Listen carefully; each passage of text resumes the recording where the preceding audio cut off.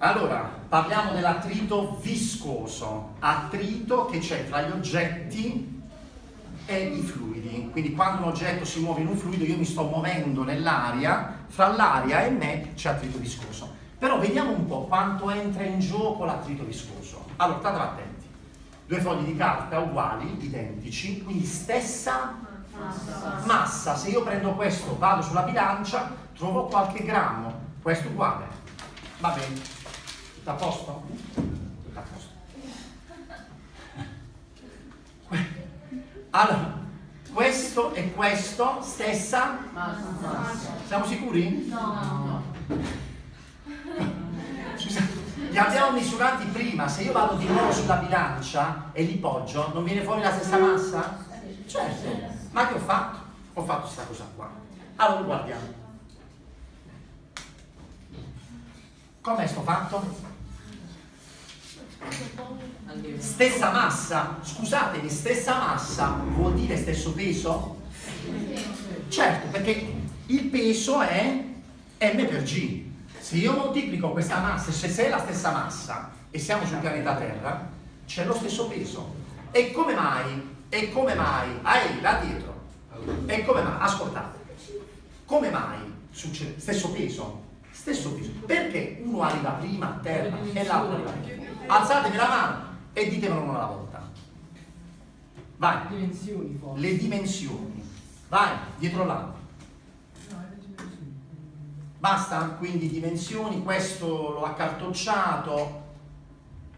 Parliamo di attrito viscoso. Guarda là. La forza peso, avvicina, avvicina. La forza peso e la forza d'attrito che agisce verso l'alto. Allontana. Allora, se io faccio cadere questi due oggetti, la forza peso che io disegno è la stessa, sì o no? Concentratevi, la forza peso è la stessa, sì o no? No, no. Ma come no?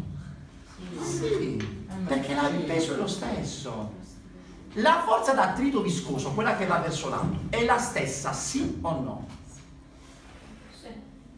no?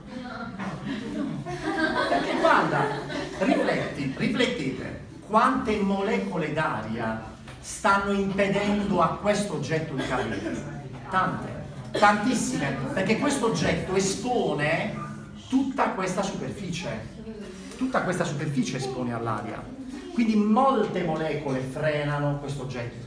Quante molecole d'aria stanno frenando questo oggetto? Poche, perché questo oggetto espone questa superficie. Ecco perché, proprio per l'attrito viscoso, che sottrae, sottrae Newton alla forza peso, questo oggetto arriva prima e questo arriva dopo. Se cercate in YouTube tubo di Newton, esperienza tubo di Newton, vedete lo stesso esperimento fatto, fatto in un cilindro nel quale c'è aria e c'è una piuma e una moneta.